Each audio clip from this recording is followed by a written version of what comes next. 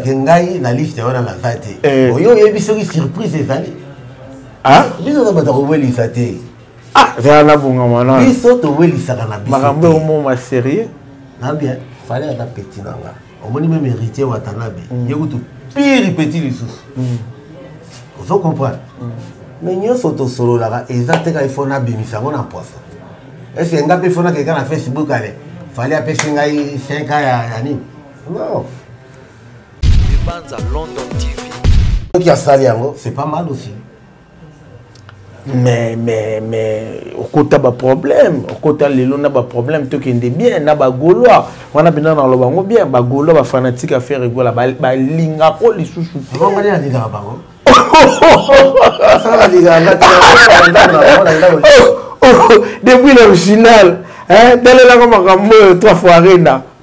ngai na ba ba golois ba golois ya mayele to ba ngo bien to ba bien ba comprenez le ko ngala mais pour le ko ba te pesa conseil mais ba tous ba ba ba fou hein c'est bino ba golois ya mayele bote ya ya bazuba banza london tv Ah, eh, ntango ozoloba oinspire nge longuement parce que aujourd'hui euh, tozoloba na baserie ya baarena est ce que papa wemba azwaka mpe chance ya kobeta na salle ou bien na kati oyo eza plus de 20 000 abeta na basalle oyo eleki oyo bato nyonso babetaka abeta yango me baconcert ya biso bayindo te oyo baminde avec groupe international abeta na sala plus de 40 000 papa wemba madison sikoyo na new york oyebi eza sala combien de personne madison ezalaka ba 40 ba 40 ba 40 ezalaka festival to concert na ye mpo toyokaka ezalaka festival babengisaka papa wemba jour na ye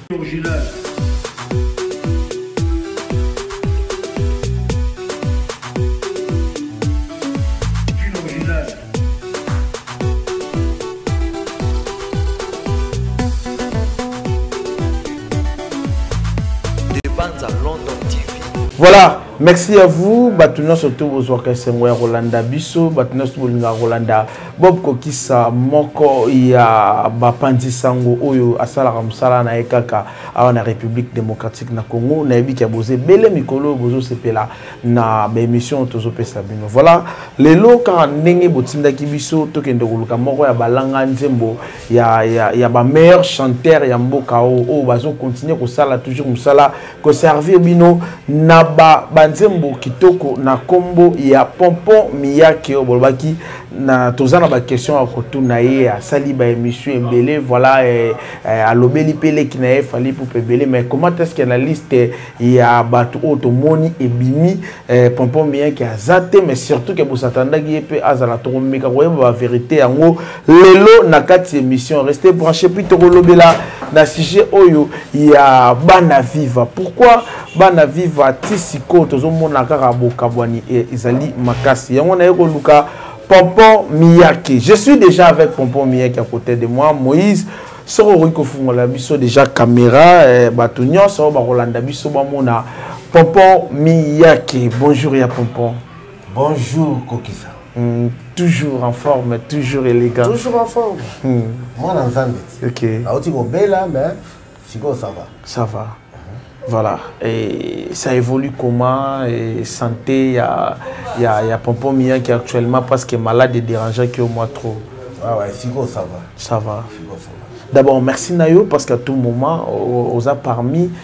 ba ba ba, ba, ba icône ya musique na biso eh, oyo aza ba voix kitoko mais surtout na respect oyo opesaka na presse congolaise oponaka couche te en tout cas merci wana oza na ba témoignage ya kitoko kote ya bapanzi sango nyonso ya pompon euh, bana vivre nga na viva pepele naza sur outi koye okutaki biso na réunion réunion oui parce que biso tozalaka mpenza bien organisé ok tozosolaka bastratégie parce que bientôt tozobeta deuxième année ya bana viva ok ah ekozalaka une de trois totia yango na date ya le 29 de ce mois ah. donc le 29 juin tozali na une de trois mpona anniversaire ya deux ans bana viva ya pompo actuellement toni te bozo s'occuper na poste ya nini na bana viva leader je suis le président oui le président moi le président eh, osatire na yo eza kaka nde ezalaki obouge te non non j'étais d'abord vice président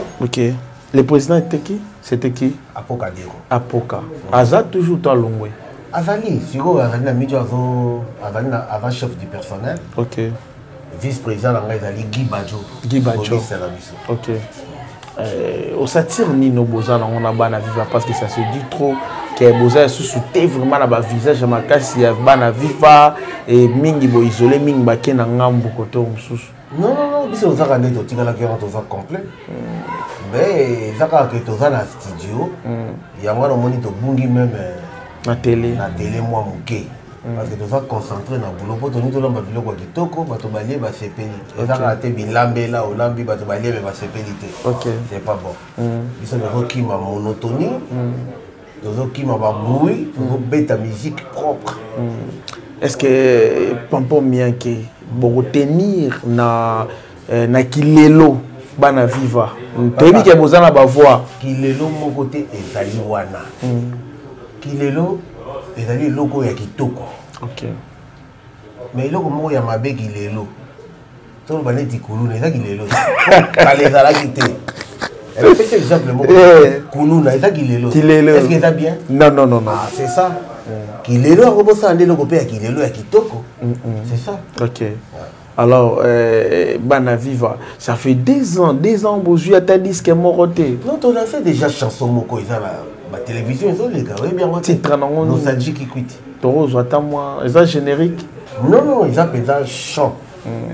so bato balingi bamona yango bamona yango wapi ezolekaleka na bachaine ebele yo oza déjà journaliste na bayoutube na bayoutube omona obeti kaka nostalgie Allez, vas-y, boyoki ya mwana bokende partout bo liker, bo partager.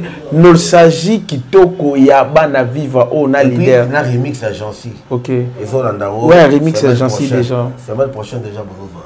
Ah, tozalaki impatient ya koyoka yango.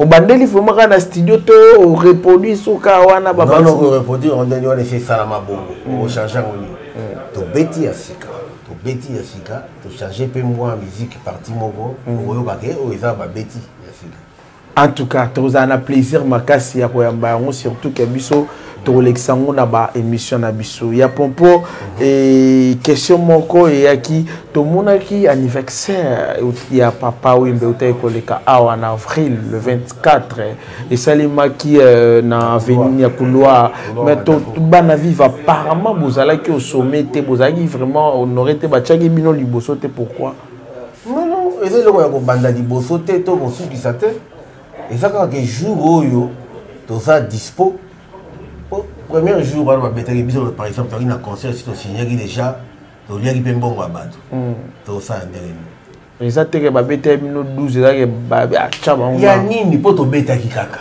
mpe bato basepeli balie biloko ya kitoko tobetaki kaka te mais sikoyo jour yango wana oyo messe esalemaki tous les 24 basapere ntango hmm. batangaki orchestre papa yemba tika epi na bato bazomene balobela ya bana viva te quand même mais ça n'engage que e eh, oyo oh, balobelaki te etali bango oyo oh, alobaki wana ye nde nani kasi nde bapesaki na ordre du jour ye nde kolo orchestre ye nde azalaki fondateur ya viva to nini echange rien rien ne va changer biso etikali ke tobetaki na papa yemba biso nde bato tobanda nouvelle écriture totika mpe baprinte nabeta nzembo esala succès ya monde emema mpe nouvelle écriture na poto c'est tout oloba oloba te je m'emballe neti nga incapable karambana ozata eyano te mais pourquoi pas vous êtes assez nombreux bafroye ya papa oyemba pourquoi pas bozwi initiative quand même boboma nono moto toluka nanu tolobi te ke bobeta musique so ensemble bozalaka mpe le moko concert bino tout na podium moko bohonore les gens organise yango il faut azala parce que biso entre nous ki ennemi eza te nga azalaki na problème na tosha me tokoma na biso kosolola hmm. na bendo nde bobongisa te te ah, c'est la famille bobongisi ah biso wana kolandaka te eza lokola yo na leki na yo na ndako mwana leki kaka asalaki mwa eloko moko to yaya osalaki mwa eloko moko efesi mwa boswani hmm. etikali libela te ke enemi hmm. d'abord c'est la famille okay. eh, okay. problème te hmm. donc soki okutani na vbn bakotia na minute oyo mbote mbote tosololaka ok ebongo jour tokendaki pa président faci tosololaki te ah ya jour ana président faci wana yango moto elukaka baproblème te wana eyaki après eyaki après corrigeaki na bifo lingaka oloba vérité pour ah. moi j'aime la vérité ok nga soki ozokosa moto amema biso kuna eza papa acanda okay, marai marai marai, marai. Okay. ye le lendemain aleki na émission alobi yo président abengaki ye mpo azongisa nouvelle écriture ata yo moko oh. donc oignore masolo ya vieux marai or vieux marai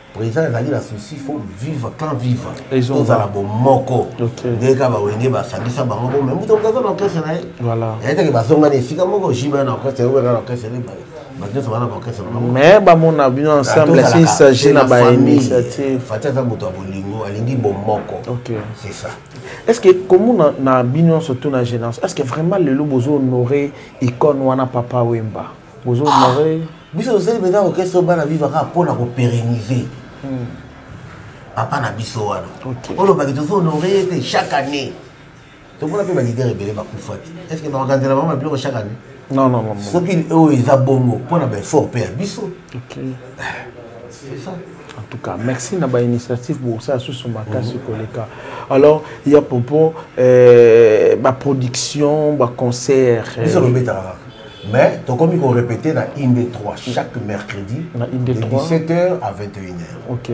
Moto ça na besoin yango na biso bana vivre en répétition. Oya mercredi tobandi 17h ti 21h. Ok, 17h ti 21h. Mm.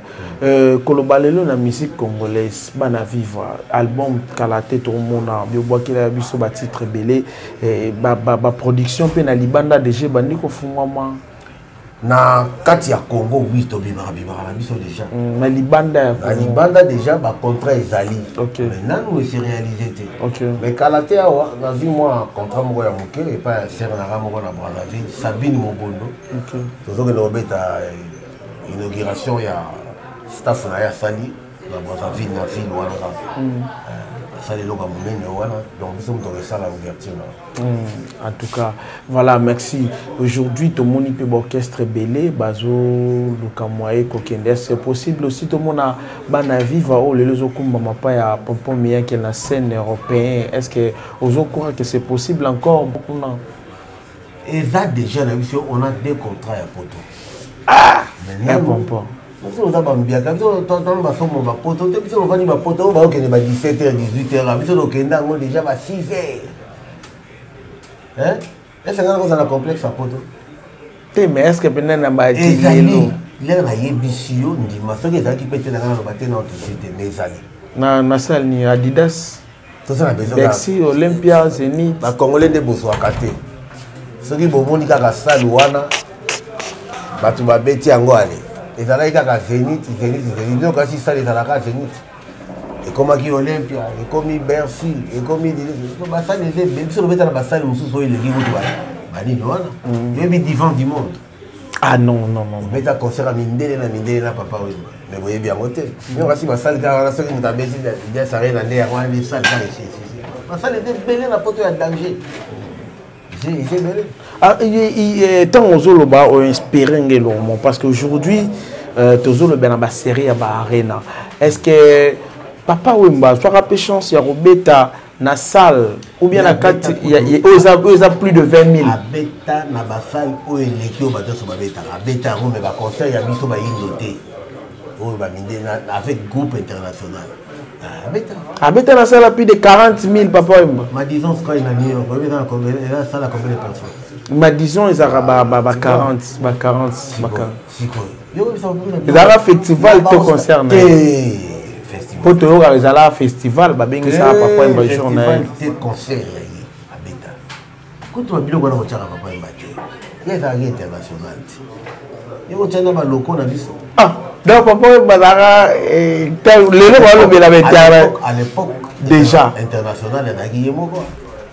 Ah, ya pamoni ya papa bimisi selo mosusu ada bamizisa bazalaki ebele bagénération na bango wana bilobilobi awa makambo mosusu akala oyebi te tika bakolo bayebisa yo soki oti tembe tuna nde bakolo bakoyebisa kasi yango totuna bazalaka bamusicien tellement ebele bayebisaka biso bakofi olobi nde bazalaka bainternational musike ezobeta na banigeria parceuinternational soki musique bino etraverse déjà na, na limite nationale ndeti na rdc so musique bino ebimi libanda miziki kaka te yo motu bayeba yo okay. eza na bamisi ebele aza na succès mpe makasi asala basuccès mais soki na allemand notuni un allemand est ce que oyebi ntele musicien non au congo je connais que papa wemba eh, lokwa kanza par exemple okay. yo kolobaki asali na nko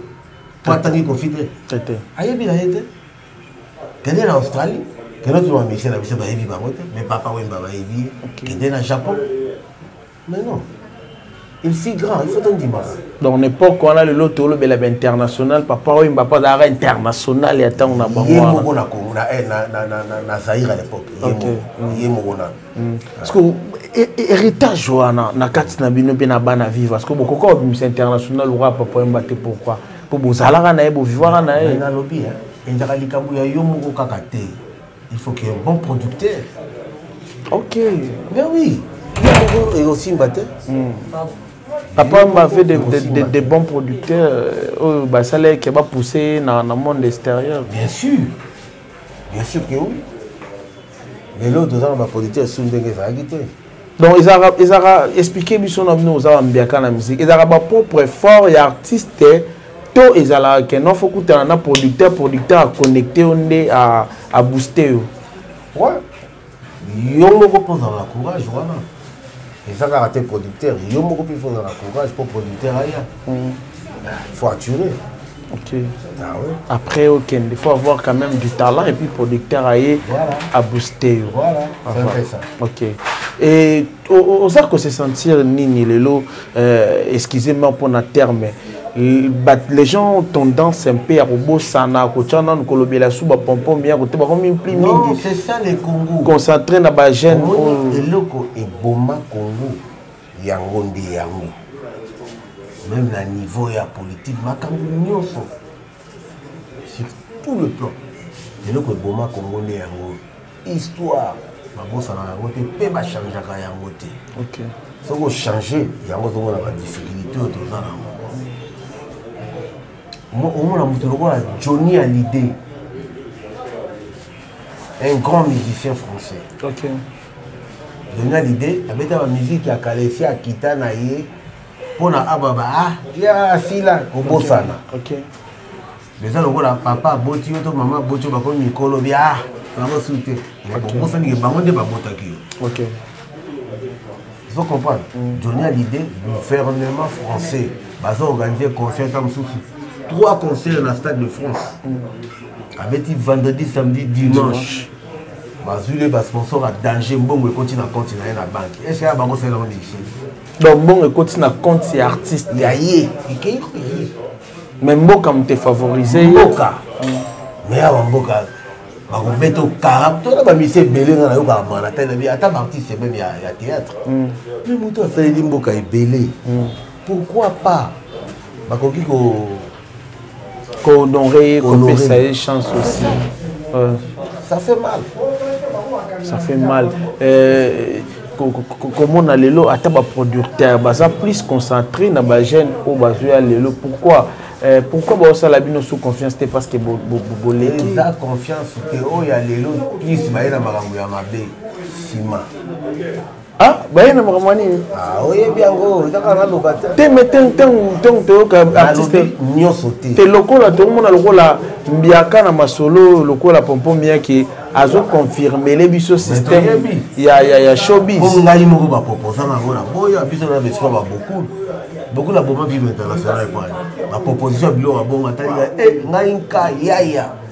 nakesa biloko wana kaka mposa ya oyo naza deja ekoki se bon ebomi mpe okesha mais, mais les gens nous parlent aussi que euh, euh, soki okoti bongo ba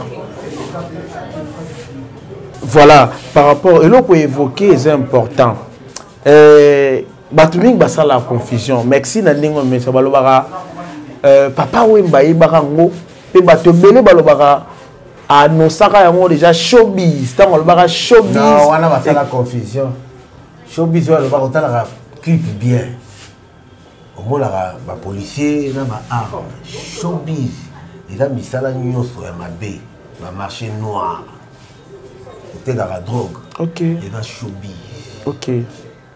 osalaka ba biloko ya mabe yango wana nde babengi showbiz showbiz bato bakenda na oka kote ya facepam eh, kasi balobaka papa yemba ayebaka kopa facepam wana mpe atimbelaka oyo alobaka showbiz lere eh, eh, ya bomi international lere wana esi nzembo wana esi eyembamaka nango deja depuis kala ata ayebi yango nana yango ayebi te toza na aire de fete biso toyebi yango ke bato basalaka boye fort meme na bacompagnie esalamaka na miziki te meme na bajoueur totokolanda yango na baentraîneur mosusu bakomaki afa afula yo oyokaki yango eza na badomaine nyonso eza nango te kaka mpo na miziki te sikoyo makambo ya showbiz oyo ya pompon ndongo omonela hmm. so tozongi na ba air bino bobeta nanu ba showbiz ezalaki te génération nini eye kokotisa showbiz makasi na miziki lelo boye oh, génération nini ekotisi kuluna lelo boye kotunanga te tunanga na tunanga nga na motoso mo explication génération oyo baye eh, mpo na ngai naloba mingi eza ba 90 kutu te kobandaka abanda ba 2006 2007 génération wana nde moto eye vraiment trop na kikuluna mpo soki mpe otali bana yango baza kaka bana ba age wana sikoyo na miziki mpo toloba vrai balwambo ntango bino boye na viva eh, wana ezalaki te wana ezalaki te te bozo confirmele biso showbiz ya makambo ya cimenterie na ndula ezali orate mpe contrat moko ya concert producteur kutu basalaka yango na musique ntango mosusu basalaka te bamosusu oyo bamelama nde basalaka producteur mpenza ye balobi ifo oh, ngai boye avana na yango baproposaka oboyi nao nga naboyako nga mwana nzambe o chrétien ngai nakendaka lomingo nyonso losambo oko otuna bato nyonso toza na bango wana nyonso eh. yango boya na yo système ya showbiz ah. En tout cas, félicitations à vous. Merci. Ya Pompo, euh, passons à l'actualité. Ya Pompo, euh, tout ça, une émission trop. Mm. Bah, éloge, bah, reconnaissance envers les Kinayo, eh, Fally Poupa. Mm -hmm. eh, ça sentait qu'il y avait une bonne relation, bah, témoignage ya bien au bandai Koloba.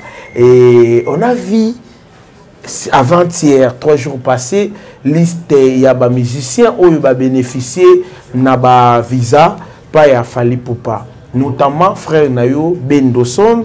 euh, Sampaio Montana et euh, ba Joka Kabengele et tant d'autres oh mususu bazui euh, il y a Pompon Miyaki mhm. euh, qu'est-ce qui s'est passé est-ce que ngalera na lobaka bien ya Fally eza kaka mpo na intérêt moko songolo te d'abord ngai azalaka na ngai mpe pressé te na enviyaka na ngai mpe te nga na, na reconnaître yo que yo mpe lobi na yo il faut osala kaka quelque chose mpo na nga nawa il n'est pas obligé hein. mais soki asali yango c'est pas mal aussi mais mais mais okota baproblème okota lelo na baproblème tokende bien na bagaulois wana bina naloba yango bien bagaulois bafanatique ya ferre egola balingako lisusu te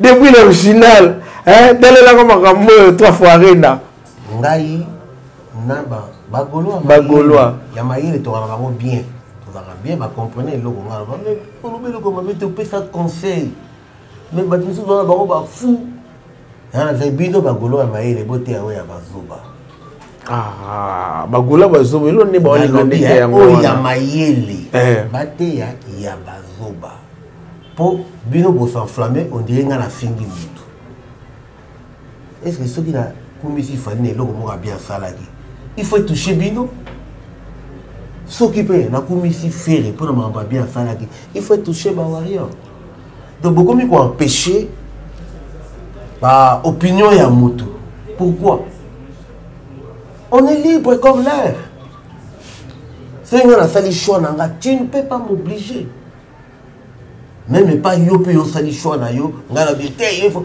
ngai nakumisaka vita yo okumisaka imana mm.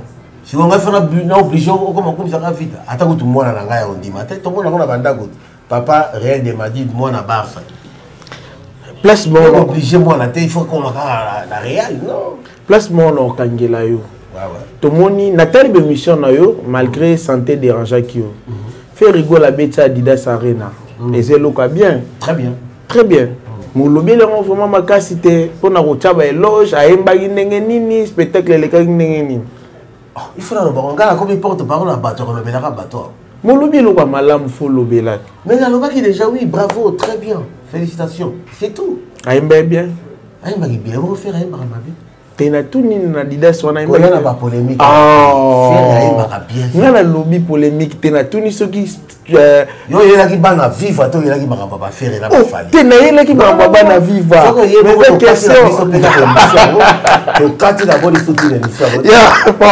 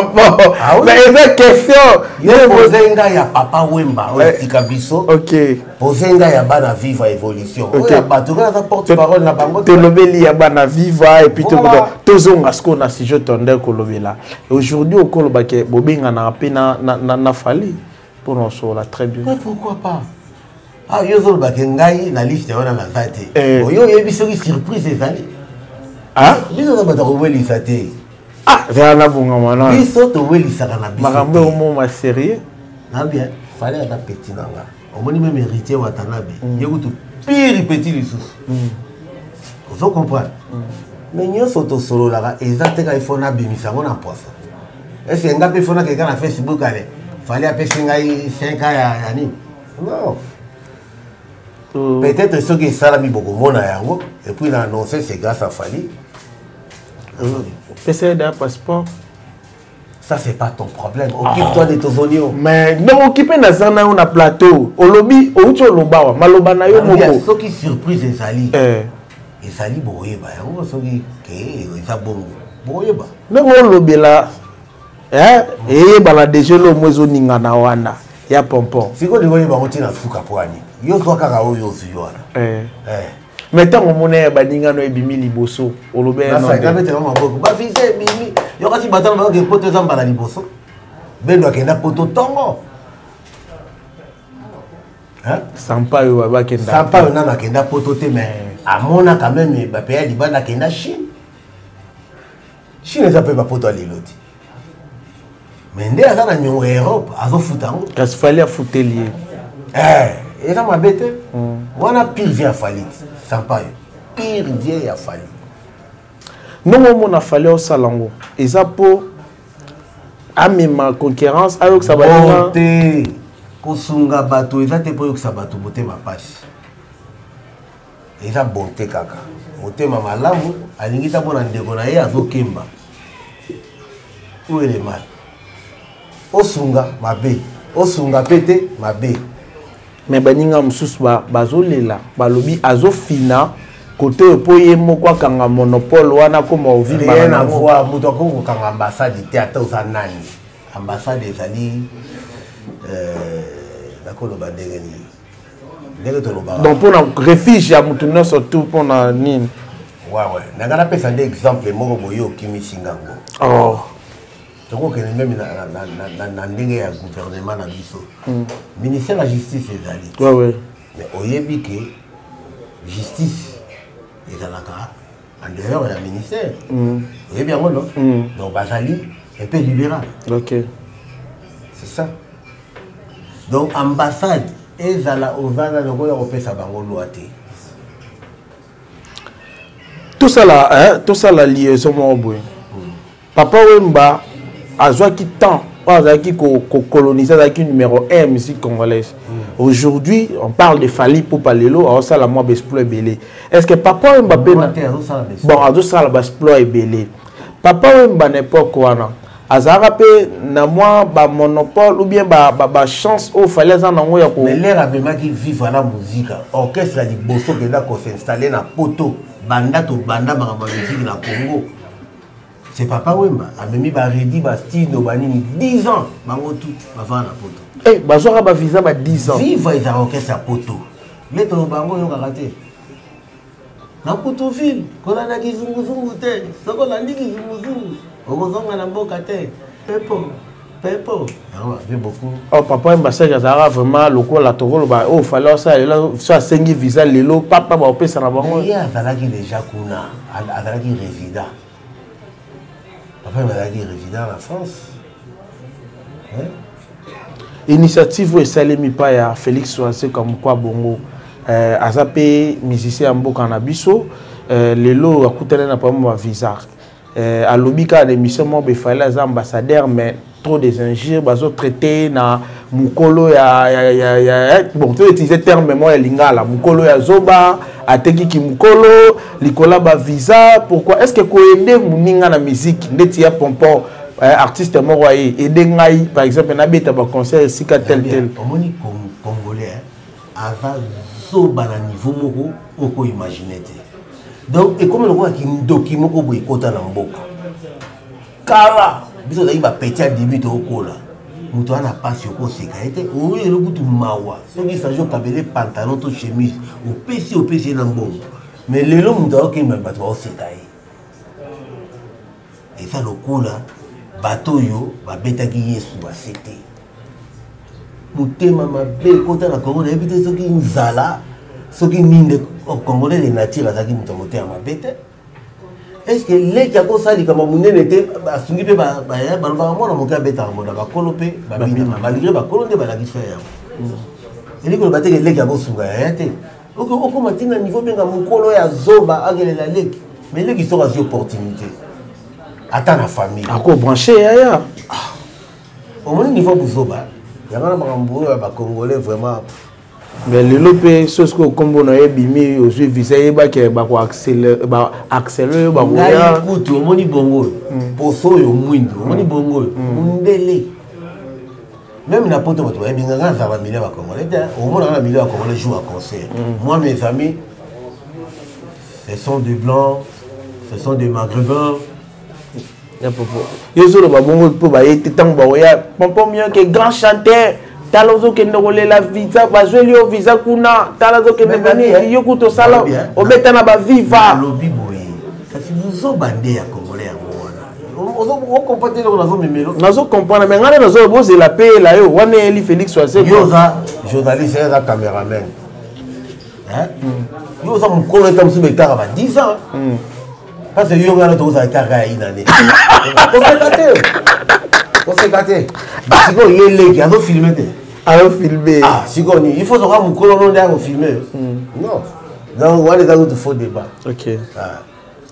nga kutu ata olobi no bongo na otalo ata lisu te hmm. oyo toyembaka kara plise kara endife bilole ya mawa donc kara na kara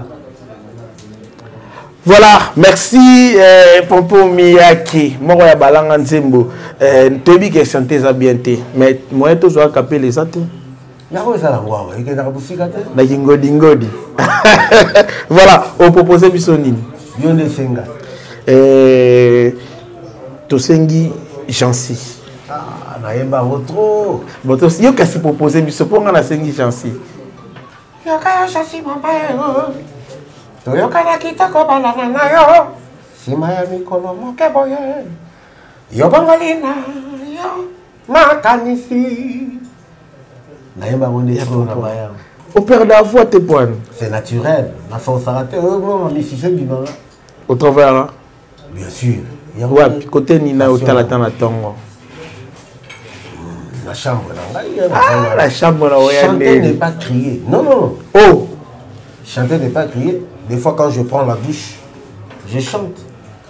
pour être bon chanteur faut te osala ba tenor faut ganga o mataba mataba ba likolo moko wana nde kilelo ya salite ya buzoba omona mpenza moto ake esika moko mo dérange na bato non non non non le contraire ba soki omoni place luciana de milongo azoyemba luciana soki omoni place vie niboma azoyemba ata ke likolo okasaka moto aza ndenge na se mais akomi na baoctave mosusu chanter n'est pas crier nazo na répéter yango mm. eza deux verbes différents mm. crier et chanter eh. ko crier eza eloko mosusu nga nakosa eloko mwa likolo me na crier na wate ok Est-ce qu'aujourd'hui on peut dire que dans la musique aussi, parmi les grands chanteurs à Congo, on reconnaîtra peu Fali un grand chanteur, grand compositeur, artiste complet comme Bapopo ba preuve emonanaka eza kaka te nga naloba mpo bokoma o oh, akotelaka kaka fali akumizaka fali oyebi yango tambola babare nyonso ya kinshasa nzembo banzembo anani ezodomine ezobeta voilà merci tokokongela yo sante eza bien te pompo miyaki bambote na yo na passage na yo na émission oyo batutu balandaki yo message nini okopesa bango napesi bino message biso bakongole tolingana tozala bomoko tokende liboso bokabwani efutaka nango te ndenge boyokaka divise pour mieux régner me balobi union fait la force badage interpelaka biso tozongaka mpe bato bolongana bafitilité nabandi nano na kini nabosani te vie na nga lik lukasi mobali ya mare jetour mama na biso ya avocate et je sali george koshi coup de gaz le bourgeois de mont fleury nabosani te awa tozali na flat hotel mbk mbandaka engambe ya mputu mbandaka okay. ah. bandaka awa nde place tozali aza mpe awa aza na biso na kin ye azala nde mwana lion me na miti oyo toza na ye awa soki nake na swisse nazomona bongo soni richi koko ya japon switzerland papa français papa eh, na londres gotie wasenga bili chimba mabila ya bino yango nazongisi na paris mpona hk le silence d'or ya bino yango wana alors baoyo napesi te mpo nazolia na nga te mpo babota yango ebelebele yango mais faut pesela nga mbote na napesi mbote epa grand frère na nga propre wana na grand frère na nga josé mufundu na toulouse motema ya tina vewenda ok eh, petit na ngai petit frère propre na états-unis na mm. chicago pichu pumbulula maître cheke ok bango koto na bino mm. mais eya na motu moko ah, ah lelo fort ntango na bino oya mbayo asepeli fo pesela ngai il faut te ekozala bien eh, opesela ngai mbote donc eza moko ya bakongomani oyo basutenaka mboka oyo oyo mpe batravaillaka mpo na euh, république démocratique du congo mhm. euh,